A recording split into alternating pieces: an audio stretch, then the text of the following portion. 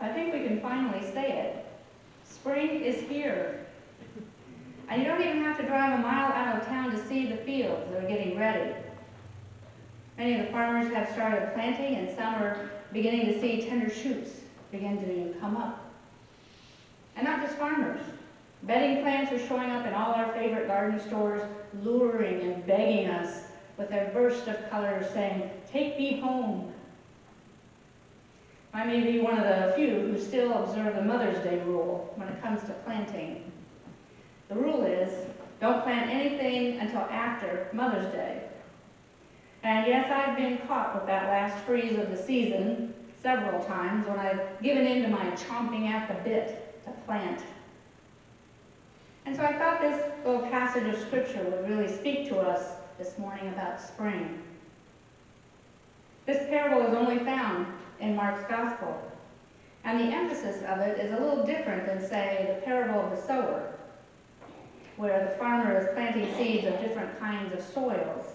And that parable talks about the importance of proper soil for the growth of the seed and stresses the success of the harvest.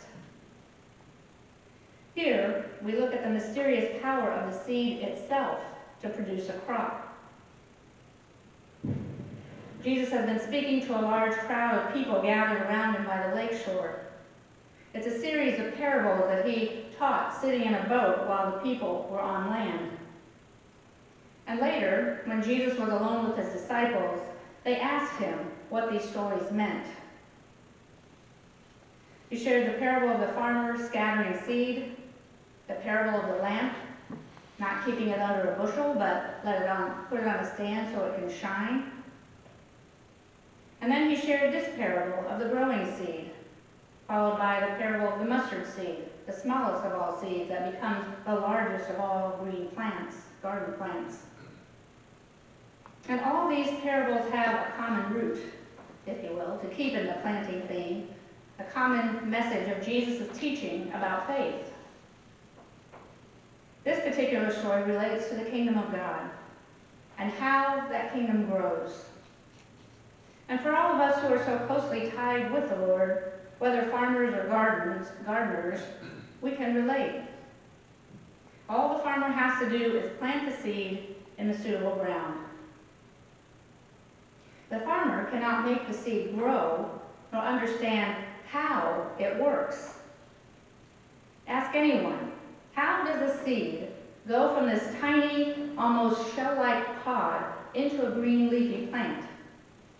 And they can't tell you because it just grows. What is that spark that sets it off? And much of it, it's much like the questions that God asked Job. Who sends the rain to satisfy the parched ground and make the tender grass spring up? The answers are a mystery, something beyond human capabilities, but not outside our belief in the all-present, all-powerful Creator God. Planting seeds, that wonderful metaphor for teaching and sharing the Word of God with someone else. When we first moved to Indy in the 1980s, I started attending a very large church nearby. And I joined a group of women who were studying a book during the season of Advent. And one lesson was about planting seeds, meaning growing in faith. And each woman in the room said, I hope the seeds I'm planting in my children, meaning reading Bible stories and taking them to Sunday school, will take root and they'll grow up to be good Christians. Um, this was before my daughter was born, and so in one sense, I couldn't really relate. But I said to them, you know, so many times when I think I'm going to say something, to plant a seed, and it'll really make a difference in that person's life, so often it doesn't. But when I'm not thinking about it and just say something sort of off the cuff, I usually hear later, oh, you know, that really made a difference to me. I planted a seed and wasn't aware of it. Think about the seeds you plant in your conversations with others. Are you aware of the impact of your words and actions and what they make on another person? even when you least expect it. The farmer scatters the seed on the ground. Night and day, while he's asleep or awake, the seed sprouts and grows. And sometimes, like a watch pot that never boils, the growth of the seedling is tiny and imperceptible. It's only when we look at it uh, and then look again after an interval of time that we notice the difference. We can say that about our faith too, can't we? We might not notice much of a change since yesterday. But if we look back to last year or even five years ago, how has your faith in Jesus Christ grown? Or are there still some dead branches that need to be pruned? And whether the farmer is asleep or awake, the seeds keep growing. It does it on its own. First a little shoot, then the stalk, and then finally there's a full ear of corn. It's that way with our faith, too. First, we hear the message of Jesus Christ, then we read and study the Bible, and finally we live out the truths that show everyone whose we are. Or as the Old Testament prophet Hosea quoted God as saying, Plant the good seeds of righteousness, and you will harvest a crop of my love. Plow up the hard ground of your hearts, for now is the time to seek the Lord, that he may come and shower righteousness upon you. And there are other lessons embedded in these few verses of Mark's Gospel, which I draw from William Barclay, renowned theologian. We learn that nature grows constantly, day and night, he says. And sadly, for us humans, our spiritual growth is more spasmodic. One day we take a step forward, the next day two steps back. But the work of God continues quickly, unceasingly, as God's plan for us unfolds.